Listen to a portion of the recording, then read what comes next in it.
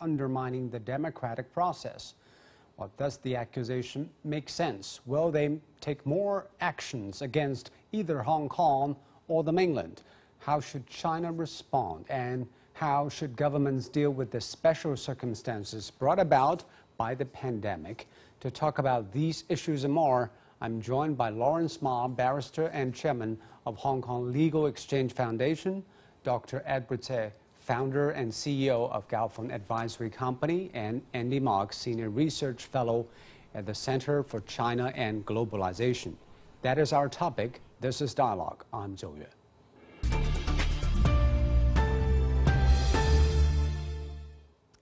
Uh, the Legislative Council elections in Hong Kong uh, were postponed for a year over COVID 19 and concerns. L- uh, let me start with you, Lawrence. What do you think of the decision and the justification for the postponement? Well, as, as you understand, the term for the Legislative Council uh, in Hong Kong is normally four years. That's in Article 69 of the Basic Law. Now, when the Basic Law is drafted, it was supposed to, or Article 69 at least, is supposed to operate in, quote, peacetime, unquote. Now, Hong Kong is now having a national or regional emergency um, of, of public health. So Article 69, the term of the Legislative Council, has to be construed in the context of the current regional emergency. So as a result, it is necessary and practicably require for the term to be extended beyond the COVID, possible COVID-19 finishes so that to enable a, uh, the voting to occur without harming or injuring anyone uh, because of COVID-19. So the legal justification uh, comes from um, the power of, of, interpretation of the basic law. The National People's Congress Standing Committee has the constitutional power under the Chinese Constitution, Article 67, as well as under Article 158 of the Basic Law, to interpret, to finally and ultimately interpret a provision in the Basic Law, which includes Article 69, to extend uh, its term to beyond four years. Uh, I believe uh, you mentioned uh, current emergency. That means the COVID-19 risks. But how, uh, what kind of a challenge has COVID-19 uh, posed to, for example, election of councillors and, and, legislative council members? Well, obviously, people have to run their campaign if the ele election is to allow to go on. At least they have to run the campaign. The candidates would have to contact and visit many of the uh, electors, the voters, and there would be building visits. They have to go through each and every building in their electors to persuade their voters, to give them, to have contact with them, to persuade them to give them the votes. That's the first thing. The second thing is on the day of voting, people have to queue up. There's no um, electronic voting as such in Hong Kong. Mm -hmm. So people have to queue up in a long queue, and there, there will be intimate, um, uh, very close physical contact between electors. So it would be very dangerous for that to happen. And don't worry, uh, do, do, not remember, uh, forget that Hong Kong is now having a double-digit um, infection rate of COVID-19 in Hong Kong every day. And Edward, uh, have you talked to Hong Kong people, or some of them? Uh, what do they feel about uh, the situation they are in? Uh, are they uh, in a rush to vote, or they would rather wait for a year uh, un uh, until the COVID is contained? Well, no, no one is yeah, in Hong Kong now is concerned with voting. Yeah, sorry. Ed Edward. Yeah, as always, there's a range of opinions in Hong Kong these days on this kind of issues. Uh, but I think this issue, based on my interactions with the Hong Kongers, has been less, uh, what should I say, politically sensitive versus the, some of the previous issues, you know, like the, the national security law, or for that matter, you know, earlier the uh, so-called universal suffrage uh, of Hong Kong and so on and so forth. At this time, it seems to me that most of the Hong Kong people would accept the decision to delay the election for one year simply because of the concerns about public health, because it's affecting everybody. Mm. And Lawrence, as a result, the Standing Committee of the NPC, that's China's top legislative body, has just passed a resolution to extend the term of the current LegCo, the sixth LegCo. I- Is that the best solution to fill the year-long gap? Because, as I understand, uh, some of the lawmakers has being disqualified for seeking re-election.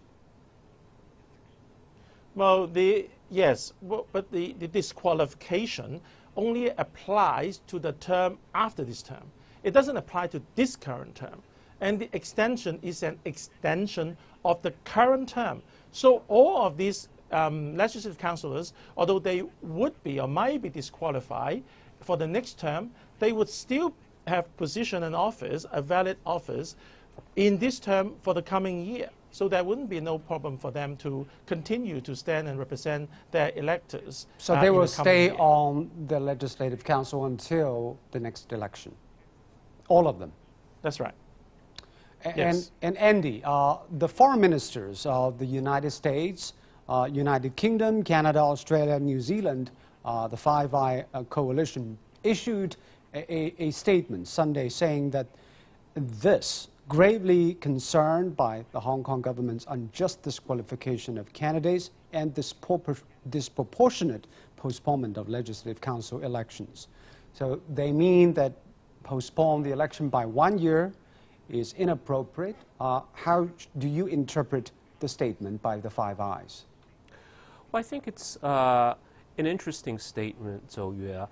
And of course, many in the West, including in the Five Eyes countries, have a kind of a fetish for elections and think of them as an ends in themselves. So, and they are perhaps naive in this respect, but we need to remember that the goal of an election, an election is only a tool, and government is a tool to deliver better lives for the people that they govern. And as long as that we keep that in mind, I think we have to have a certain amount of flexibility whenever any problems come up, a health crisis, other types of issues, that uh, a good government is flexible. But I think also uh, some in the West, and I think certainly some in the Five Eyes as well, uh, know this to be true, but also are using this uh, as a way to stir up trouble or to unfairly uh, criticize both Hong Kong and China. And considering the fact that more than 60 countries and regions have actually postponed elections this year because of the pandemic, and even in the United States, President Trump raised the issue of postponing the election. Why Hong Kong was picked out uh, and, and blamed for postponing of the election? Andy? So uh, clearly, um, the U.S. and the four other eyes uh, have, I think, banded together uh, vigilante style, uh, looking to stir up a lynch mob against China. And I think they see Hong Kong uh, as one promising area for this. I mean, we've seen uh, with the protests that have morphed into riots and uh, violence and looting uh, et cetera, that I think this is, we can't look at this in isolation, but this is part of a broader uh, initiative or campaign of hostility uh, against China more generally. A- a- And about the local politics, Edward, uh, there are suspicions that maybe one year down the road, the political sentiment will be more in favor of pro Beijing camp. I- Is that a legitimate uh, thinking? There is certainly speculation of that, but I would say there's also s- expectation in some s- camps of the people here in Hong Kong that the sentiment will also go the other way. It's very difficult, I think, for anyone to have a precise prediction of how the sentiment would actually turn out one year from now. A lot of things would happen, uh, and we don't know exactly. But I think to put the public health above, you know, the, the short-term political concerns is the right thing to do. And who knows what's going to happen, you know, 12 months down the line. And also, Lawrence, uh, is one year uh, postponement an arbitrary decision? Why one year? Why not a month, a half a year, or, or, or two years? Well, uh, I'm not a member of the uh, uh, standing committee of the National People's Congress, but I think that they have um, uh, analyzed that the situation of COVID-19 would definitely come to an end within one year.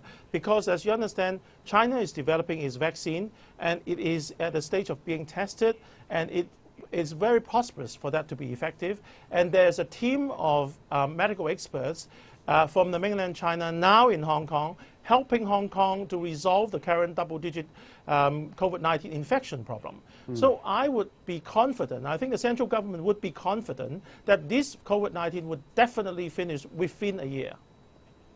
And another thing also happened uh, Monday. That is, a Hong Kong police uh, arrested seven people on charges of violating uh, Hong Kong's new national security law on Monday. Uh, Lawrence, uh, what is your uh, knowledge about the charges against them, and, and what legal actions, uh, what legal grounds are, are they uh, being uh, taken on? Lawrence? Well, if you, if you read art, yes, if you read Article 29 of the um, National Security Law, you understand that in Article 29, 29 anyone conspires with a, with a foreign country to impose sanctions or to engage in other hostile activities against the Hong Kong Special Administrative Region or the People's Republic of China, um, that is a criminal offense, punishable, uh, maximum would be life imprisonment.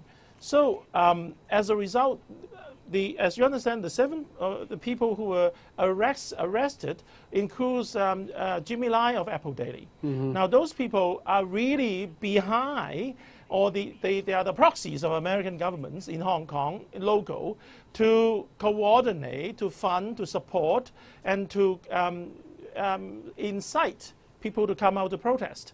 Um, this is a, a known secret.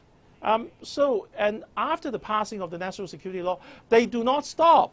They continue to to, uh, to, to coordinate activities and to uh, receive fundings to um, uh, call on the American government particularly and other governments, Western governments, to impose sanctions on Hong Kong.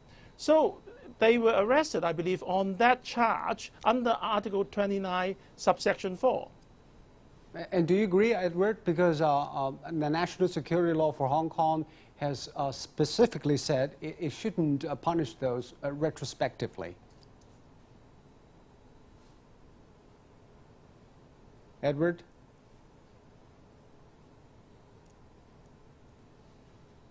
Okay, we may lost our audio with Edward. Let's come back to uh, Lawrence. What do you think of the law's yes. uh, capabilities of punishing the, the law, those yes. retrospectively? Yes. Is this the, punishing their the previous uh, offenses or the offenses after uh, the passing of the law? It was to punish the aftermath of, of, after, of the acts after the passing of the law. Um, the law definitely doesn't have retrospective effect. It was stated in the law itself that the law does not have retrospective or retroactive effect. So, but the problem is these people, the seven who were arrested, continue to offend and continue to engage in criminalizing in criminal, criminal acts, notwithstanding the passing of the law, as if they wanted to be either um, uh, to test out the, the, the, the, full rigor of the law, or they really want to um, continue um, their acts uh, against the government as well as the region for their own political purpose. Mm. Let's talk about the high-profile arrest of Jimmy Lai. You just mentioned that. Uh, he was among the people arrested. He had been arrested twice this year. Uh, but how will the arrest different this time? Will be the charges be different because of the passing of the national security law? Well, the, he was, the old charge was he was uh, inciting people to participate in riots beforehand. Um, it was the um, anti-fugitive um, amendment bill um, campaign, which happened last year. But for this charge and for today, well, yesterday's arrest, it was on a different charge. It was for uh, a charge that would, uh, under Article 29 of the, of the National Security Law, which people have asked foreign governments to sanction mm. or impose a blockade um, on, on the current Hong Kong uh, region or the, uh, or the um, People's Republic of China. So the two charges are different. They are under two different laws. So does that mean he will not be able to get bail out this time?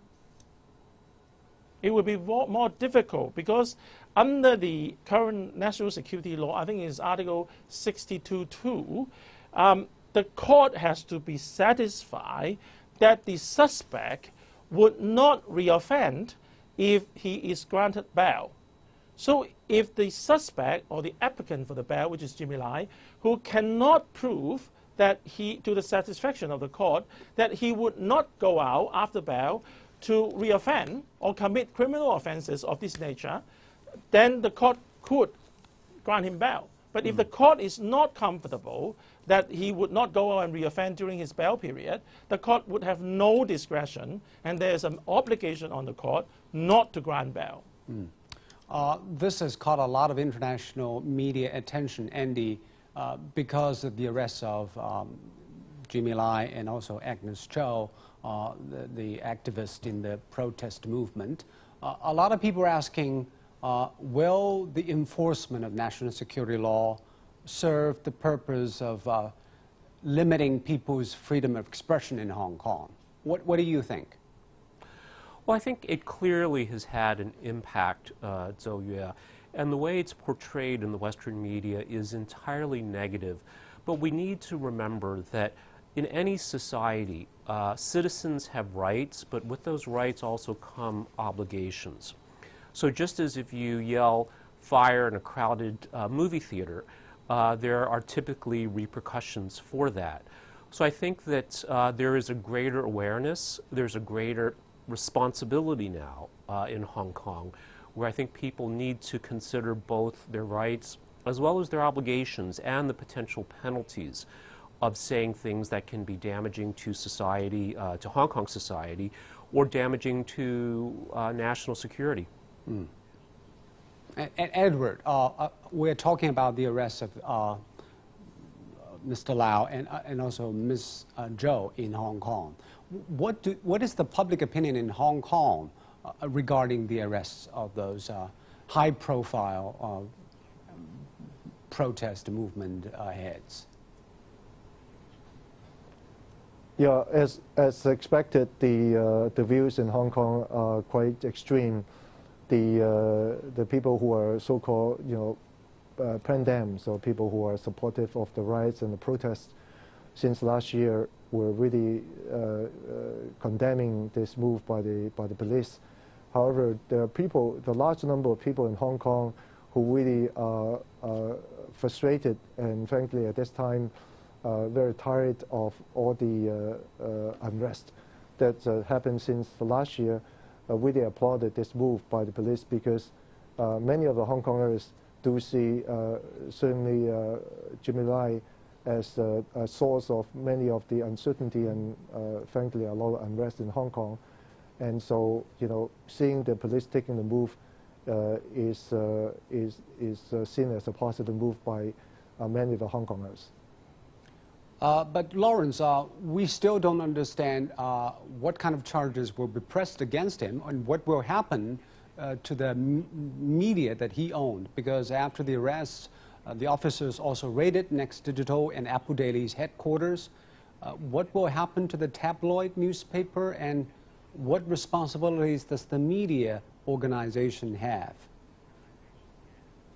Well, I think they are pretty robust. I mean, if you see today's Apple Daily, um, there are people in Hong Kong who has been oversubscribing and buying up all the newspapers in Hong Kong in support of Apple Daily. That is pretty true. And mm. also, there is the, the stock price of Apple Daily rocket high today. It, it jumped at what 200 or, or 300 percent from from cents to two dollars. I think it would be. Um, I, I, I, I'm not an economist. I can't interpret this, but this is the fact of how people seem to be, pay sympathies to to uh, Apple Daily upon their arrest. So it would be very difficult to guess what will happen. But for Jimmy Lai, I think it is. I think that the police would have concrete evidence or pretty cogent evidence um, on the offense that he has committed, which is, you know, inciting, or sorry, not inciting, but he, he has asked foreign governments to come, impose sanctions in Hong Kong. Um, so th this is pretty clear. He has personally admitted to those, and we have video clips, a, a number of them, that he speaks to the media inviting the American government to come and impose sanctions against Hong Kong officials. This is a not this is a pretty pretty known to everyone in Hong Kong. So it, it would be it would be difficult for me to say that he would be acquitted um, from the charge, facing with the evidence that, that is now uh, uh, against him by, by, by the prosecution. But don't you think his trial will also be a test of Hong Kong's uh, judicial system? Because it is supposed to be a legal matter, but now more and more it has become a political matter uh, that is thought differently uh, between China and the West. Well, well, that's true, but therefore we there is a chance that the jury system is to be done away because we don't want this to be a trial by the press, for example, because in America, for example, the O.J. Simpson trial, as you all know, he's a famous uh, boxer, and then his trial, he was acquitted for murdering his wife, not because he was not found guilty, but because the, he, he was, there was a trial by media. The, the, the jury were, were, were, contaminated, the mind of the jury were contaminated as such that the jury could not find a, give a fair verdict. So in this case, we do not want a trial by media. There would be a trial by a single judge mm -hmm. who would have immunity towards, towards all this news uh, in, in the media. He would focus on the evidence and determine whether the evidence is proven up to scratch the charge. And if so, he would be convicted. But there is obviously international ramifications. Uh, the U.S. Treasury has imposed sanctions on Hong Kong Chief Executive Carrie Lam and 10 other top officials from Hong Kong and also the Chinese mainland in charge of Hong Kong affairs blaming them for undermining Hong Kong's autonomy. Uh, so, Andy, what impact will these sanctions have on these officials? And uh, do you think it will have any real impact on Hong Kong and, and mainland? I think these sanctions in particular uh, most likely will not. I mean, we've seen uh, the defiance from Carrie Lam. I believe she called these sanctions uh, shameful and despicable. Um, but I'd like to go back very briefly uh, to the point about what might happen to next digital media. Um, I believe uh, wasn't uh, Jimmy Lai also charged on suspicion of financial fraud as well, and if that involves his company, that could have uh, consequences uh, there as well.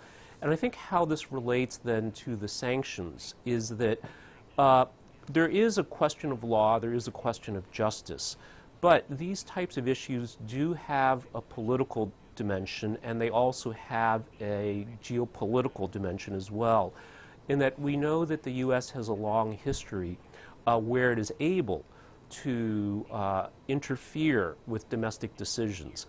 And I think what this shows is that when China was poor and weak, it also had to consider these factors. But today, China can make these decisions uh, based on uh, justice, the legal system, and from a national perspective because it is strong enough to stand up to the U.S. Mm -hmm. But obviously, it, it will uh, draw a wedge between Hong Kong and the U.S. Uh, and Edward, uh, China also says it condemns the sanctions against the officials of the government, central government, and Hong Kong government, and it retaliated by imposing sanctions on Americans, 11 American politicians, uh, for behave, behaving badly on Hong Kong related issues. This kind of a tit for tat uh, will, do you think it will hurt Hong Kong in, in some way? Well, unfortunately, um, uh, it, it could, uh, but, but be it as, as it may, uh, because it was really the U.S. government who, who has started the, the sanctions. And, uh, you know, in the tit for tat uh, format, the Chinese government had to, uh, had to retaliate. Uh, I personally do not hope this will further, you know, create ad additional sanctions. But you never know what the next steps of the U.S. government is going to be. And uh, even though, you know, as Carrie Lam said, you know, she doesn't really care about this sort of sanctions, but in my view, any sanctions is not a good, good thing to do. And I really hope no more of such sanctions will happen. Because uh, if, if the U.S. will continue to apply pressure on this, does that mean Hong Kong will run away from the U.S. economically and probably getting much closer to the mainland in economic and, and financial areas?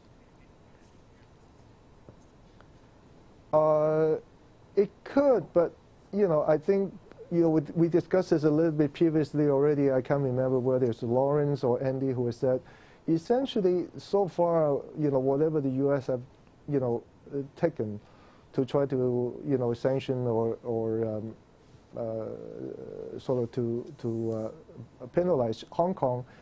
So far, we don't see a whole lot of impact realistically on Hong Kong, but you know, in addition, you know, in, in the future, would the U.S. pull any additional, more stringent, you know, measures to try to hurt Hong Kong? I don't know, but so far we don't. I, I certainly don't see any major impact on the Hong Kong business, nor the American business who is doing business in Hong Kong, because of the fundamental underpin that Hong Kong continues to do well as a financial hub for the region, if not for the rest of the world. So um, you know, let's not, let's let's hope you know nothing more will happen in this direction, but you never know.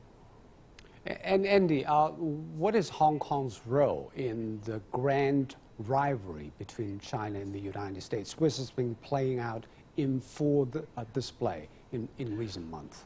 No, I completely agree with Edward that, you know, one can only hope that the 7 million people of Hong Kong uh, really do not suffer anymore, including the businesses there as well, and all of mm. the uh, financial infrastructure, because they really are being held hostage and they're becoming the collateral damage as the U.S. Uh, ramps up its uh, campaign of hostility uh, towards China. And what, what else do you think those Western countries who have expressed uh, strong dissatisfaction over what is happening in Hong Kong can do down the road?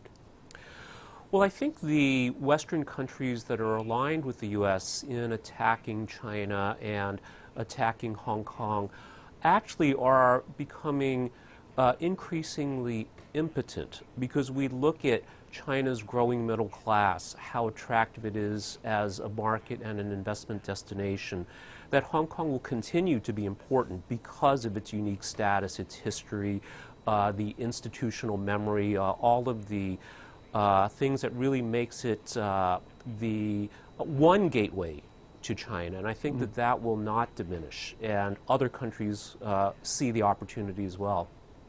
And, and Lawrence, the U.S. and some European countries have spoken a lot about Hong Kong's issues, but clearly they say one country, two systems principle is challenged. Uh, what is your understanding of the principle? Is still uh, strong and sturdy in Hong Kong? Of course, the one country, two system principle is a political term um, which is uh, coming from the Sino-British Joint Declaration. And the Sino-British Joint Declaration terms has been fully written in the Basic Law. And the Basic Law actually is a legal protection of the of citizens' rights and, and an implementation of the Sino-British Joint Declaration. So the, the, as long as the basic law is still enforceable in mm. place and honored, there is the one country, two system principle here in operation vividly in every corner of Hong Kong. And also, I, they, the Western power was what, what, what are they expecting is they expected a an independent Hong Kong instead of a highly autonomous Hong Kong, mm. which is definitely not the one country, two system is designed for Hong Kong to be. And probably uh, none on, in Hong Kong and on the mainland can accept. Thank you very much, Lawrence, Edward, and Andy, for your insights.